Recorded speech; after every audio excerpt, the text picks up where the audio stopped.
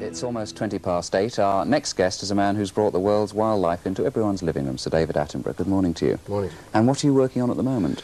Uh, well, not just very much at the moment, but uh, we are making a series about the natural history of the Mediterranean, and nothing much happens in the Mediterranean natural history-wise any more than it does here because of the weather until spring comes. But once spring really gets going, we shall be uh, going too pretty hard.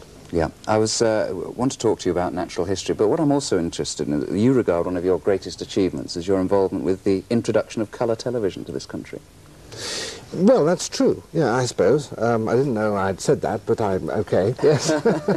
So, w- what were you actually doing at the time? Were you controller of BBC I was controller of BBC Two, Two, then, and the, the sort of the technical situation is difficult to remember now. But uh, until then, uh, the television standards on which we all worked were 405 lines Yeah. on your television set. Uh, and 405 lines was a standard, of a rather a low standard actually, but was the best that could be achieved in 1937, which was when it started. Yes. Uh, and we hadn't got the technology to make it more high definition. When colour came, it, the engineers reckoned it had to be uh, 625. Uh, so BBC Two started, uh, pioneered a new lineage, and because it was the only one that was on that lineage, it was the only one that could introduce colour television. And did it go with a bomb immediately? with any problems? Uh, well, the main problem was the shortage of equipment. Um, the uh, number of cameras that we had, that we started uh, um, the service with, was something like four or six. I mean, as you know, the, you know, we all know there are f- at least four or six cameras in any one studio. Now, to try and start a whole service with no more than half a dozen cameras is really quite hard going. And we had to work out very carefully what we were going to use them for. And for a long time, the service was actually what we used to call piebald.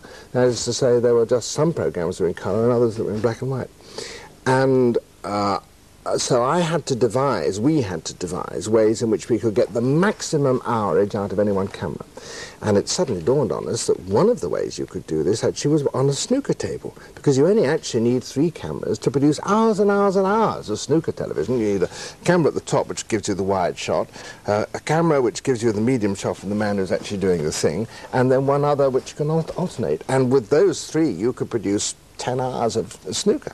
So that was very exciting for us. So we introduced snooker television. So anybody who says that we see far too much snooker television and the chap who invented it ought to be shot, I'm afraid You're they the have to aim, aim at me. Yes. but then you sort of got fed up, presumably, with the administrative life, did you, and decided to go back on the road? Well, that's putting it a bit steep. I, I mean, I'd done eight years. I did eight years, first as controller of BBC Two and then responsible for both BBC One and BBC Two.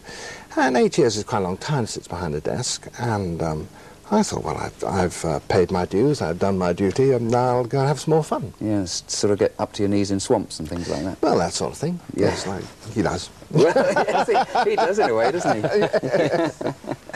and what does your brother, as a matter of interest, think of your lifestyle? Barmy. Does he... Yeah, well, I think he thinks I'm a little odd. Mind you, I think he's pretty odd too. But uh, uh, I mean, he, I mean, he doesn't actually particularly get on fire about fossils.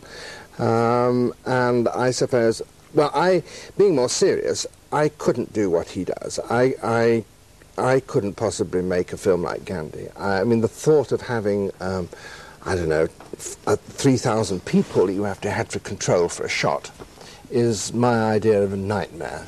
Uh, it would drive me bananas. Um, I much prefer sitting in a hide uh, with perhaps 10,000 um, wildfowl in front of me. That, Over that- whom you have no control. Over whom I have no control. Mhm, And that's the fascination, isn't Yeah. it? Well, Steve, we'll chat again later. Thanks very much for the time being. We'll take a break.